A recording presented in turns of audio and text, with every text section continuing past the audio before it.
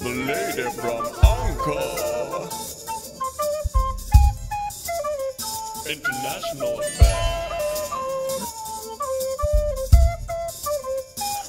The lady. Hi, today I want to take a look at how to create a third party email using Google account in 2019. And with third party, I mean not a Gmail. So I'm on a generic Google page and I'm going to click at the top right hand side where it says sign in. And I'm going to click at the bottom, create account. And I'm going to choose for myself. You can choose for your business, but in this case, I'm going to create a personal one. And if you're going to use a pseudonym as I'm doing, I would just suggest that you make sure it's one that you will know and remember because at the end of the day, um, when Google asks you what your name is, you need to know that.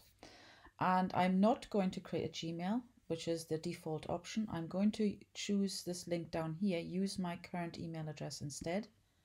It's a bit confusing because it it should say third party email address really.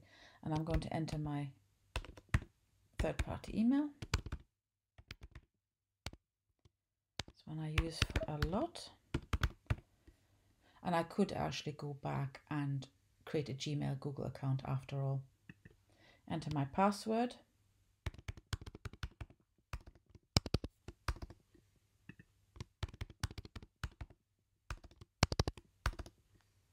And click on next. And on this page, I'm being asked to verify the email address I've just entered. Now, one point about this, this is this is actually quite handy to, to note because you're being asked to verify the email address by receiving a code to it and then entering the code, it actually precludes you ever being able to create a Google account with a third party email address that doesn't function or that is malformed. So there is no way that you can actually make a mistake at this point. So if I go to my um, Yahoo email addresses inbox, I'm being shown the code. And if I copy and paste that code, and verify my Google account, I now have the option to complete my sign in, which is to enter my um, date of birth and my phone number, my gender, and if I if I wanted to, I could actually find out why they're asking for this information. But the reason for that is for account security.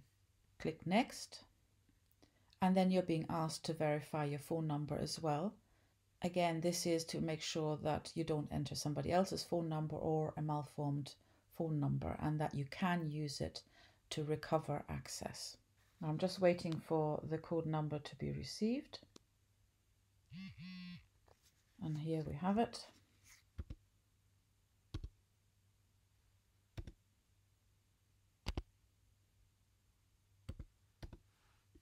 And verify. Now it actually says here, um, you can also use the number to receive video calls and messages and make ads as services more relevant to yourself. Now, I am not going to be in. I'm going to actually skip that because I don't use my phone all that much. I'm being asked to read through the privacy terms and conditions before I actually get my Google account. I have to agree to the terms of services and I have also got to agree with the processing of my information. Now, these are pretty standard things, but when you click I agree and you acknowledge that you've read them, you are basically entering into a contract. And the nice confirmation screen pops up. Confirm.